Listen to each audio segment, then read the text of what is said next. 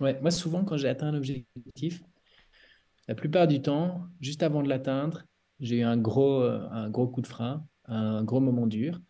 Et c'est toujours à, partir du moment où tu décides de baisser la tête et de vraiment traverser le mur, tu vois, dire non, non, mais attends, tu fais l'extra, the extra mile, Mm. euh, que tu y arrives.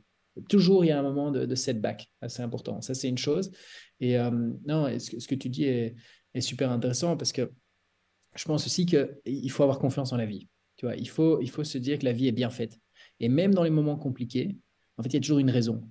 Et si tu regardes avec un peu de distance, tu te dis, ah, mais pourquoi euh, ça m'arrive toujours à moi? Pourquoi ce truc faut- Sur le moment même, il t'arrive un sale truc et tu vas, tu vas pleurer sur ton sort et tu vas te dire, ah, ça va pas fonctionner, ça va pas marcher, ça. Et puis, avec du recul, tu dis, ah, mais en fait, ça m'a permis de rencontrer telle personne ou parce que on s'est pas lancé là-dedans, on a évité de faire cette erreur et, et en fait, la vie est bien faite. J'ai eu un accident, euh, tu vois, assez, assez grave où je me suis tout cassé. euh, J'avais, euh, je me suis pété euh, les deux, euh, enfin plein de vertèbres. mes deux hanches étaient ouvertes en deux. Enfin, j'ai eu un sale Ouh, accident de parapente.